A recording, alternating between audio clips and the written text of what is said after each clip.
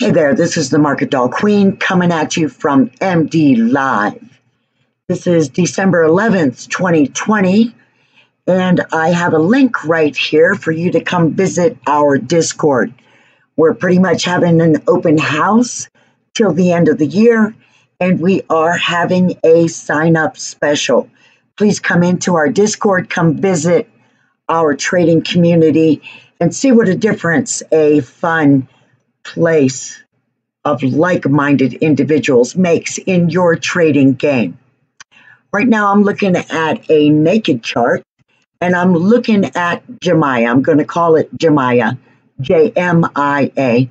And this has made my option alert list many times in the past few weeks, if not the past few months. And I'm looking at a naked chart right now, and I'd like to show you how to add some simple indicators to help you stay in the trade longer and make better gains. So we're going to go right up here. You can add studies many different ways. You can use any of these chemistry beakers right here and right here, or you could do it right here on this far right hand little box.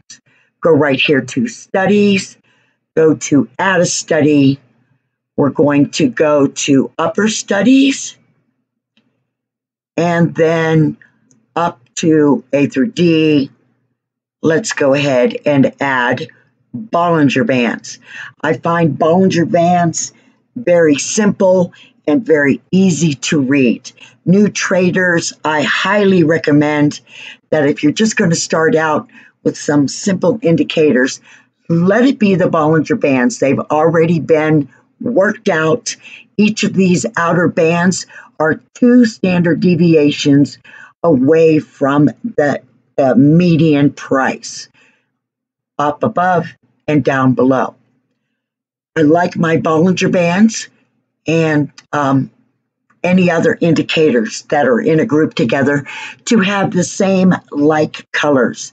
So go ahead and right click on the Bollinger Band. Let's edit the study and let's go ahead and change the lower band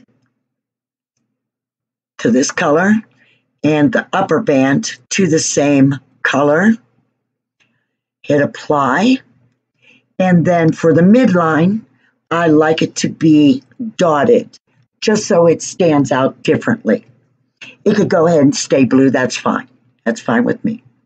Hit apply, hit OK, and there you go. There is the basic Bollinger Bands, and you can see it makes much better sense when the outer bands are identical in color, okay?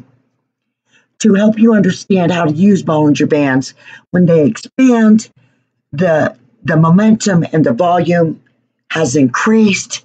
When they contract, that's when the share price starts to go choppy. So there you go. There's your simple Bollinger Bands added to your, your chart right there. You can use this on any chart that you would like. You can go to anything. I usually use a five day, five minute graph. And there you go.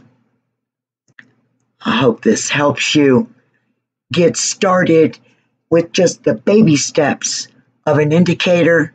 Remember, we are having a special right now. Come on in to our MD Live. Um, we're waiting to meet you. Make sure you get this link right here and come see us. We'll see you there.